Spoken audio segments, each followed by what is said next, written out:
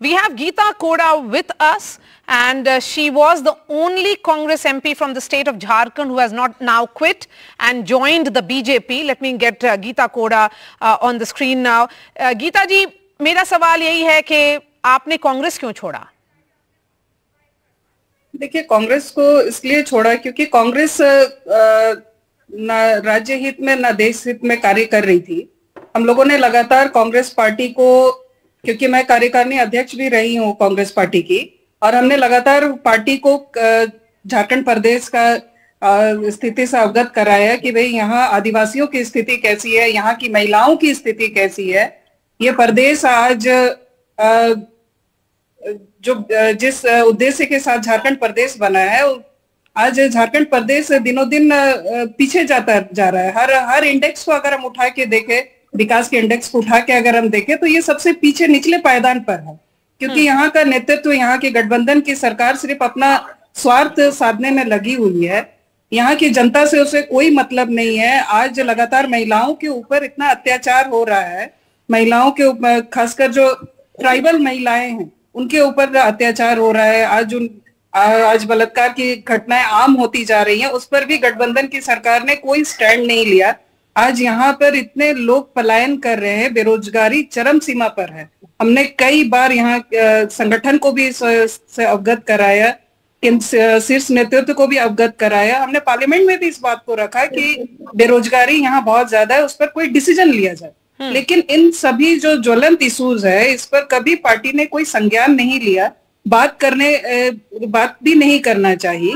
तो ऐसे स्थिति परिस्थिति में हम हम लोगों ने सोचा कि भाई ये कांग्रेस पार्टी से संभव नहीं है ये गठबंधन की सरकार से संभव नहीं है। अगर इन आदिवासियों का दलित का पिछड़ा का बेरोजगारों का महिलाओं का अगर कोई उद्धार कर सकता है उनका कोई विकास कर सकता है तो आदरणीय मोदी जी कर सकते हैं।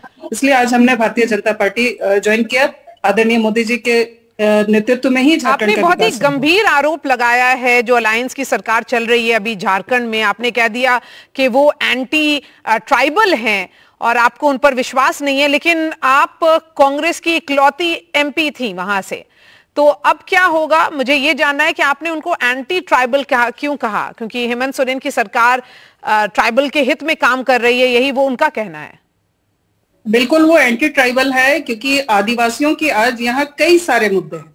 यहाँ स्थानीय मुद्दा है, आदिवासियों का विकास का मुद्दा है। आज अगर सबसे ज़्यादा कोई पलायन कर रहा है तो वो आदिवासी है यहाँ के ट्राइबल हैं जिनको अभी कुछ दिन पहले आपने देखा होगा कि हेमंत जी ने बहुत ये के साथ कहा कि मैं एरोप्लेन से लोगों को लेके आ रहा हूँ लद्दाख से लेके आ रहा हूँ। हम्म। तो ये ऐसी स्थिति क्यों उत्पन्न हुई कि आज हमारे यहाँ के आदिवासी लद्दाख में जाकर के काम कर रहे हैं? क्या झारखंड में उद्योग नहीं है? क्या झारखंड में माइंस नहीं है? यहाँ हर तरह की माइनिंग है हर तरह का उद्योग है।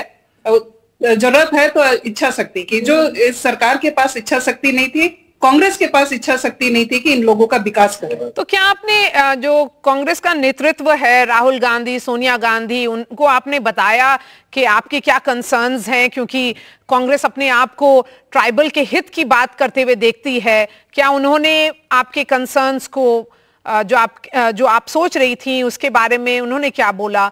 किस तरह से उन्होंने उनका क्या नज़रिया था? बिल्कुल सारी बातें हमने बताई। अभी हाल में ही राहुल जी का झारखंड दौरा था जो यात्रा उनकी चल रही है न्याय यात्रा हम्म। उस दौरान आदरणीय राहुल गांधी जी खूंटी में नाइट स्टे करते हैं लेकिन खूंटी जो हम आदिवासियों के लिए भगवान बिरसा जो योद्धा रहे हैं जिन्होंने अंग्रेज़ों अंग्रेज़ों से लड़ाई लड़ी उनके जन्म स्थल जो यहाँ से मात्र कुछ ही किलोमीटर की दूरी पर था वहाँ वो जाना उन्होंने मुनासिब नहीं समझा तो ये कहीं ना कहीं हम आदिवासियों के भगवान के भगवान का अपमान है, ये हम आदिवासियों का हम लोग इसको अपमान देखते हैं कि आप यहाँ रात्रि विश्राम कर सकते हैं कुटी में, लेकिन भगवान बिरसा के जन्म स्थल आप नहीं जा सकते। All right Gita Koda thank you so much for speaking twenty TV